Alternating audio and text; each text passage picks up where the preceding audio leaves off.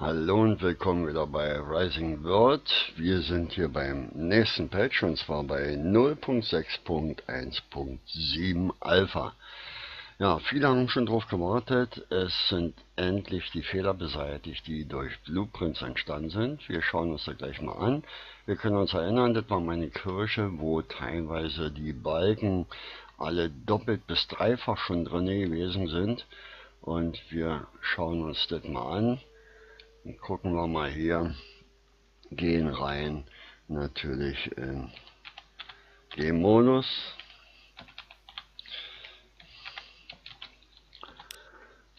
So, und werden wir gleich schauen, was wir hier machen können.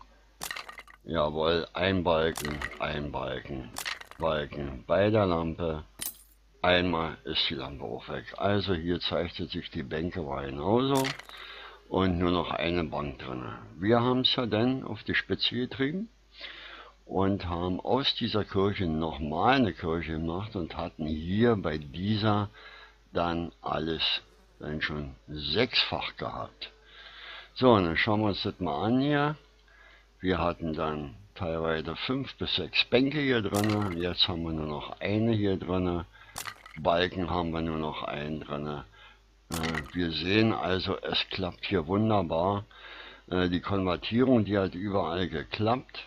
Da gab es überhaupt keine Probleme. So, dann die zweite Sache ist, dass wir die Möglichkeit jetzt haben, unsere Blueprints endlich zu sortieren.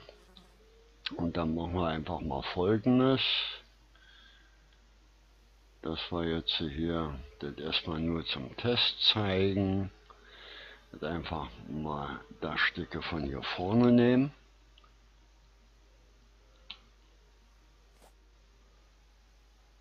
Von da bis hier und ein Stück hoch noch, so dass wir den ganzen Vorbau hier haben. Und den wollen wir uns jetzt äh, dann hier mit reinnehmen. So, sagen wir einfach mal Vorbau. Und den wollen wir in eine Gruppe Test drin haben. Und sagen erstellen. Und wenn wir jetzt wieder reingehen, wollen wir uns mal vorher vorsichtshalber ja noch ein Blueprint hier rein. So, wenn wir jetzt sagen, Baupläne. So war unsere normale Ansicht hier, wo wir schön scrollen konnten. Und jetzt haben wir hier oben dann die einzelnen Ordner drin. Na, ihr seht, ich habe schon angefangen hier einige von mir neu zu sortieren hier. Äh, muss das andere aber auch noch alles sortieren. Ich zeige euch das dann auch gleich mal, wie es im Verzeichnis dann selber aussieht. Ja. So, und hier haben wir den Ordner Test jetzt und da ist unser Vorbau drin. Ja, die zweite Geschichte, was beseitigt wurde, wir hatten hier von den Farben her Fehler drin gehabt, hier, dass das alles so in dem Blauton drin gewesen ist. Das ist jetzt auch beseitigt worden und auch wunderbar hin. Und wenn wir sagen, den Bauplan benutzen hier, dann können wir unser Teil dann wirklich wieder hier aufstellen ohne weitere Probleme. Und wir werden mal gleich schauen hier, ob da irgendwas doppelt ist. Und nichts ist doppelt. Also hier funktioniert es auch. Die Türen, eine einzige Tür drinne und wir können auch hier jetzt mit durchlaufen, ohne dass da noch eine Geistertür drin ist. Also diese Geschichte ist auch super beseitigt worden. Das hat auch geklappt. Ich denke mal, jetzt können die Server dort Tatsache auch ein bisschen aufatmen. Äh, die nächste Geschichte, äh, was es noch alle Bau, ja, Baupläne können nun in Gruppen unterteilt werden, hat man gerade gezeigt. Also Kisten können nicht mehr aufgehoben werden, solange Items darin sind. So, dann schauen wir uns mal diese Geschichte an. Das aussieht, wir bekommen dort jetzt auch eine entsprechende Warnmeldung. So, gehen wir mal rauf auf meine Bauplattform hier. Gucken wir mal, hier ist jetzt eine drin. Und dann werden wir mal hier einfach mal ein paar Items reinlegen hier. Mausrad gedreht. 20 Stück werden wir hier reinpacken. So. Gut. Wir haben jetzt in der Kiste drin. Wir wollen sie aufnehmen. Wir visieren die Kiste also an und halten einfach die F-Taste gedrückt. Und unten kommt die Meldung, du kannst alte Truhe nicht aufnehmen, nicht entfernen, solange Gegenstände daran enthalten sind. Okay, also nehmen wir mal die Gegenstände raus.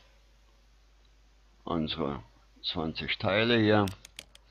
Drücken jetzt wieder die Taste F, halten sie fest und wunderbar, die Truhe ist weg. Schauen wir in unser Verzeichnis nach. Da steht die Truhe. Wir wollen sie wieder hinstellen.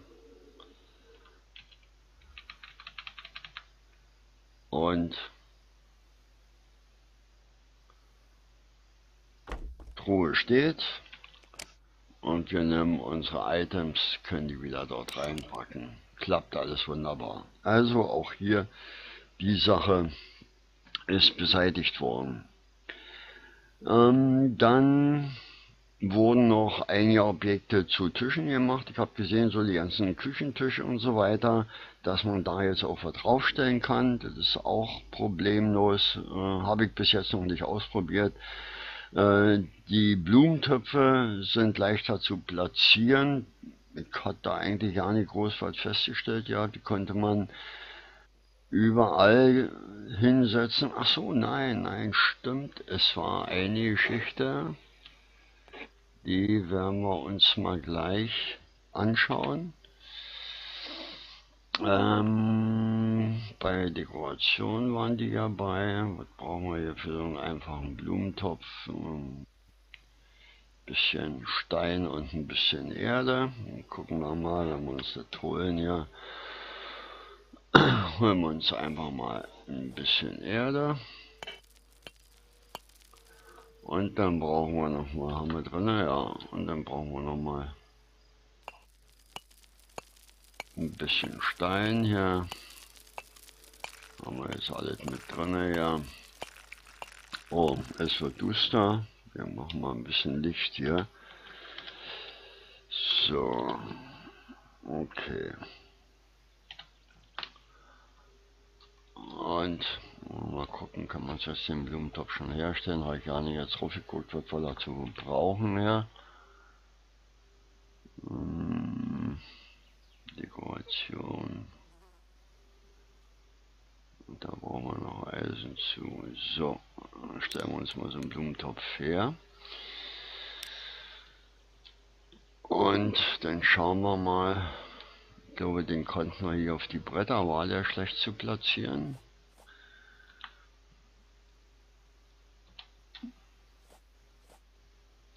Und der sitzt jetzt zumindest, das sehen wir hier schon im Ansatz. Jetzt vorher hat er unten rausgeguckt aus dem Brett und jetzt äh, sitzt er direkt auf dem Brett drauf. Wir suchen uns mal, ich hatte doch ein Haus gehabt, da ich so ein kleines Fensterbrett gehabt hier. Hier. Da hat man ein Fensterbrett gehabt und wenn ich darauf setzen wollte, dann hat unten so ein Teil vorgeguckt, das sah dann ungefähr so aus und wenn ich ihn jetzt hier auf das Fensterbrett ansetze, jetzt sitzt der wirklich ganz genau drauf. Jo, der hat sich zwar eben angehört hier, als ob ich hier einen Amboss hinsetze, aber zumindest ist jetzt hier die Platzierung der Blumentöpfe auch schon bedeutend besser geworden. Das haut also hin. So, was haben wir denn noch? Äh, den fehlerhaften Schau, äh, Vorschaubilder, das haben wir gerade gesehen. Unendlicher Holzbug, der ist beseitigt worden. Äh, wenn das Inventar voll ist, dann kriegen wir auch da die entsprechende Meldung. Und beim Tod, da flippt die Kamera nicht mehr aus. Das habe ich eigentlich bei mir nicht festgestellt gehabt. Das waren so die wichtigsten Sachen, vor allen Dingen die Geschichte mit den Blueprints, damit das endlich funktioniert. So, jetzt werde ich euch noch zeigen, wie das im Verzeichnis aussieht und leider muss ich euch dann auch nochmal einen Fehler zeigen. Red, da musst du höchstwahrscheinlich nochmal ein bisschen nacharbeiten. So, wir unterbrechen kurz und ich öffne mal das Verzeichnis.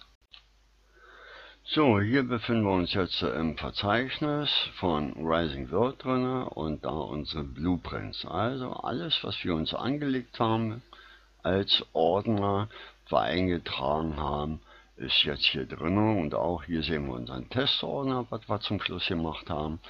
Wenn wir reingehen, dann sehen wir auch, es ist ausgeschrieben, wir können das also dann hier wunderbar sortieren und dann in Rising wird dann auch wieder äh, benutzen und wir sehen auch hier schon, wann haben wir es angelegt und wie haben wir es benannt ja, und die Nummer hinten, die interessiert ja denn nicht weiter. So, äh, leider sind die Sachen natürlich nicht umbenannt automatisch, das ist klar. Also das heißt, das muss ich mir hier noch alles nochmal neu sortieren oder neu anlegen, damit das wirklich dann auch wie hier äh, seine entsprechenden Bezeichnungen bekommt. Aber ich denke mal, das ist das Wenigste daran, wir daran denken, ist Schritt für Schritt wird diese Geschichte besser. Wir können es natürlich dann auch so machen, dass wir uns hier drinnen einen neuen Ordner anlegen. Wir probieren das einfach mal und sagen jetzt neuer Ordner und der heißt bei uns jetzt äh, unsortiert. So, und dann mache ich jetzt einfach mal folgendes und sage von hier ich lasse mal hier einfach so noch zwei stehen, dass wir das dann noch sehen können. Sag bis hierhin diese ganze Sache, die möchte ich hier in den Ordner unsortiert drin geschoben haben.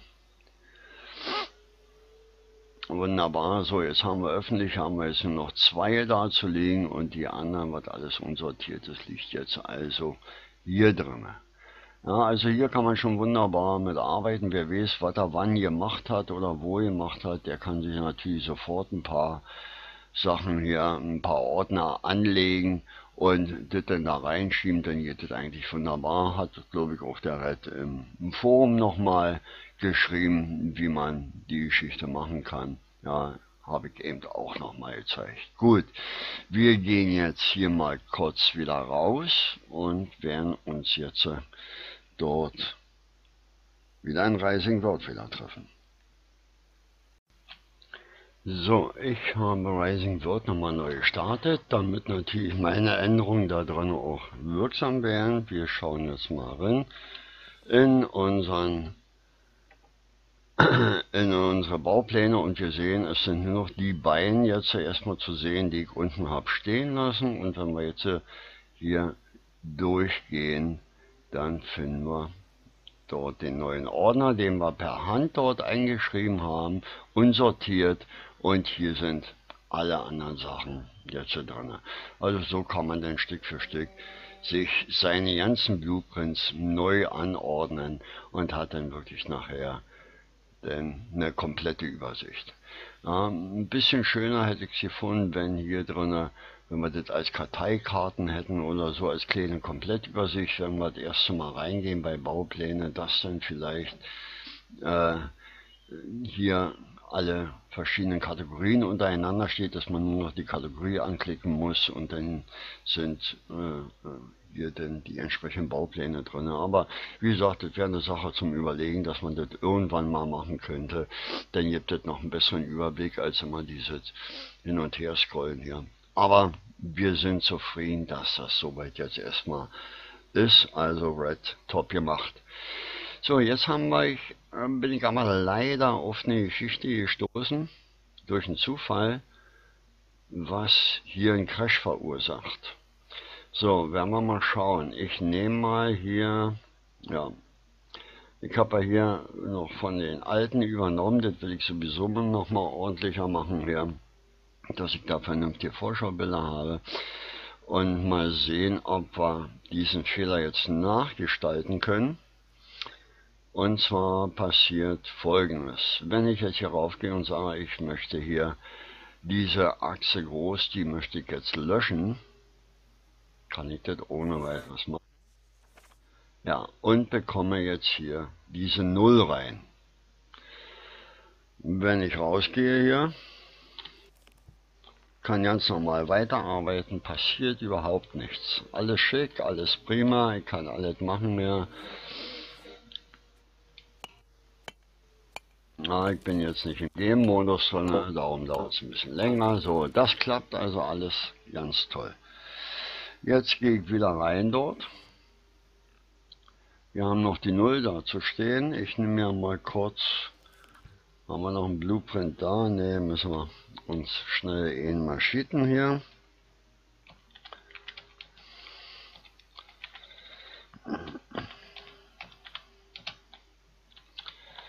Reicht einer, so. Okay. Mama, ach, jetzt müssen wir natürlich vorher hier erstmal eh noch drin haben. Gut, wir wollen jetzt hier Achse klein, wollen wir haben Bauplan benutzen. Das geht auch ohne weiteres. Ich kann den sofort jetzt hier hinsetzen. Klappt also gut. So, jetzt werde ich eine kurze Unterbrechung machen, weil die Sache hier gleich extrem wird. Der hat so ja meinen Film denn zerschossen hier. So, ich habe nun mal jetzt eine kurze Unterbrechung gemacht, dass ich bis hierhin doch weiter filmen kann, falls jetzt hier nochmal was schief geht. So, wir gehen mal wieder rein und ich möchte jetzt kontrollieren, was ist denn das, was hier mit 0 plötzlich ist. Ja, ich hatte die Achse ja gelöscht gehabt und jetzt steht dort 0. So, und wenn ich jetzt raufklicke, passiert folgendes.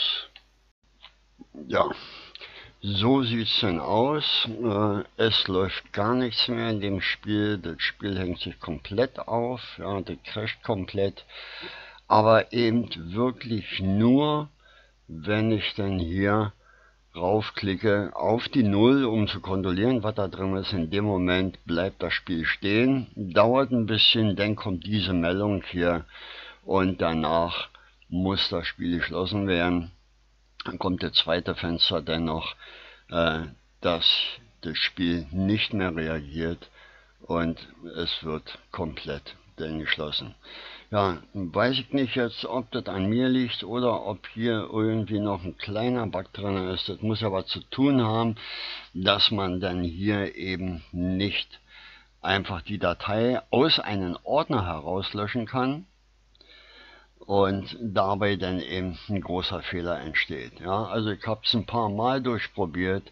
Es läuft immer wieder darauf hinaus, erst wenn man diese Null-Datei anklickt, um zu kontrollieren, was das eigentlich gewesen ist oder warum da eine Null steht, erst dann crasht das Spiel und zwar mit dieser Meldung denn.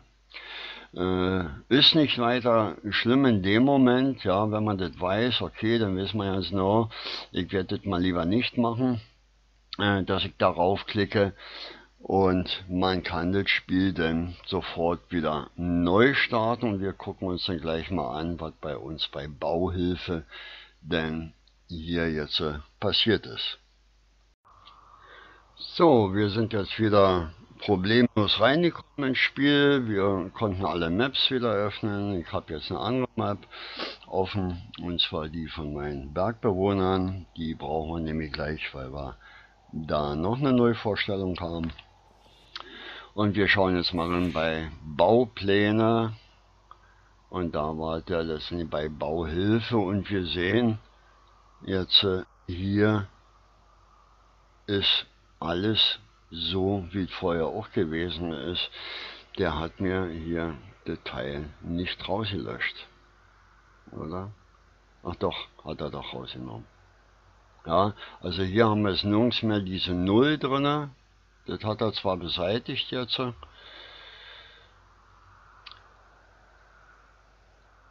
Ja,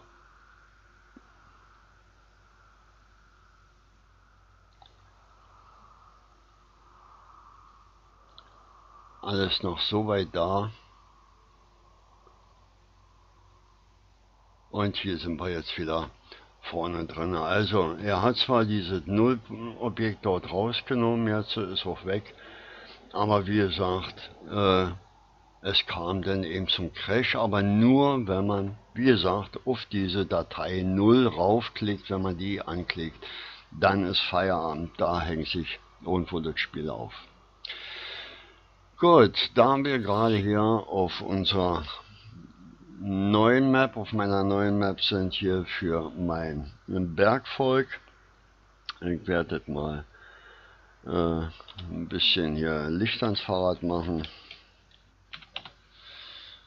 So, gucken wir uns da gleich mal an. Wir haben nämlich noch ein neues Werkzeug mit hinzubekommen, was wir natürlich auch noch nutzen können. Ich habe hier mal schon angefangen, ihr seht, ein bisschen weiter rumzubasteln hier an meinem Werkvolk. Den Leuten jetzt soweit ganz gut hier. Wir haben auch innerhalb der Höhle wachsen auch wunderbar alle Pflanzen hier. Und hier draußen haben sie ihre Bäume. Das ist soweit alles schick. So, und wir haben es ja hier so, dass wir hier natürlich dann auch unser Volk soll ja hier auch Erze sammeln, um dann hier natürlich ein bisschen was zu machen. So, und da haben wir denn, ah ja, da ich im Mittelalter bin, habe ich natürlich nicht die entsprechende Werkbank hier drinne. Da müssen wir uns erst diese neue Werkbank, die moderne Werkbank schaffen, um diese Tool zu sehen. So, wir haben mal kurz gewechselt und sind jetzt äh, auf einer Map hier wo meine ganzen Rumspielereien hier sind. Hier haben wir auch die neue Werkbank und in dieser neuen Werkbank, da finden wir denn drinne unter Werkzeuge unser Erzsuchgerät. Das ist eine ganze Menge, was man dazu braucht. Acht Aluminiumstäbe, vier Wolframstäbe, vier Kupferstäbe, eine Eisenplatte und eine Goldplatte und wir können uns dann so ein Metallsuchgerät herstellen. So, ich habe mir ihn schon hergestellt und so sieht das Teil dann aus. Ja, und er müsste ja dann irgendwo unsere Erzvorkommen finden. So, jetzt werden wir mal schauen, dass wir hier rausmarschieren und uns mal so eine so eine Höhle suchen, dann mal gucken, ob die Sache hier auch dementsprechend reagiert. Da sehen wir, der Zeiger schlägt schon langsam aus, wenn wir in diese Richtung gehen. Da lang wird nichts passieren hier. Aber in diese Richtung, wo ist er? Da.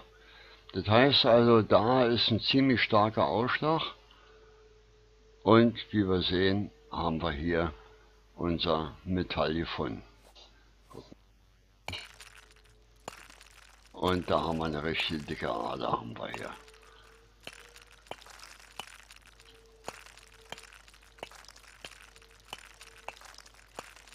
So, na, das sieht ja gut aus. Ja, also ein unheimlich hilfreiches Gerät. Da ist auch noch was. Da auch noch. So, nun haben wir alles weg. Dann machen wir wieder unser Gerät zeigt nicht mehr an. Wir haben hier Tatsache jetzt alles weggebratzt hier. Wir fliegen mal hier einfach mal durch die Welt durch. Mal gucken. Hier müsste es eigentlich gleich wieder ein Ausschlag kommen. Da haben wir einen Ausschlag. Wir sehen schon jetzt hier in dem Moment natürlich auch mit dem bloßen Auge. Da ist auch voller Ausschlag. Ja, also hier gehen wir mal weiter hier durch.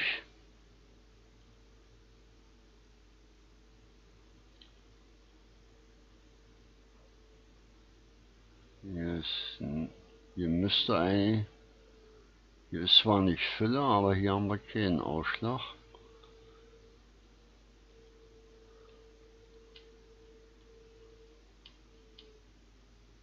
Da, die Richtung haben wir wieder einen Ausschlag und wir sehen es auch schon hier. Ja, wäre jetzt aber auch interessant zu sehen, wie groß die Reichweite. Ich meine, hier, da sehe ich es. Das ist auch schon. Ja. Wäre natürlich toll, wenn man auch sehen würde, dass der kommt, wenn es durch den Berg durchgeht hier irgendwo.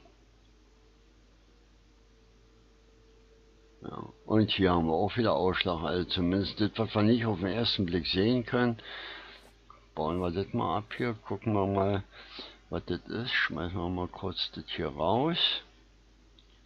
Ja, was wir sehen hier. So, und das war jetzt hier Silbererz. Ja, also es hilft auf jeden Fall. Das Gerät ist auch eine interessante Sache, macht Spaß. Natürlich nicht für mich, für das Mittelalter ist das wieder mal nicht her. Aber beim Bullen im Survival werde ich es auch im Mittelalter natürlich nutzen, um da das ein bisschen leichter zu haben mit den Ärzten. Bei Kohleschlichtern natürlich nicht aus, das ist klar. Es ist ja auch ein Metallsuchgerät. Gut. Ja, das war's dann insgesamt mit den Neuvorstellungen, mit den neuen Patches. Also wie gesagt, sind viele Fehler wieder behoben, die bedeutend besser jetzt sind, vor allen Dingen für den Server, gerade die ganze Geschichte mit den Blueprints. Prima Sache. Und äh, da kann man wirklich wieder nur sagen, tolle Arbeit geleistet, alles super. Vielleicht mit diesem Fehler, mit diesem Crash, der ver, äh, verursacht wird ähm, durch die Geschichte mit dem Löschen eines Blueprints aus einem Ordner. Äh, da vielleicht nochmal nachgucken, ob das jetzt eine Sache nur bei mir ist oder ob das allgemein so eine Geschichte ist. Gut, das war's erstmal wieder eventuell zum nächsten Film denn auf den Server der Hessensträuche. Da hat sich auch wieder einiges getan bei mir im Mittelaltergebiet. Habe an der Kaserne weitergebaut und werde demnächst auch zeigen. Bis dann. Tschüss, sagt euch Wolle 158.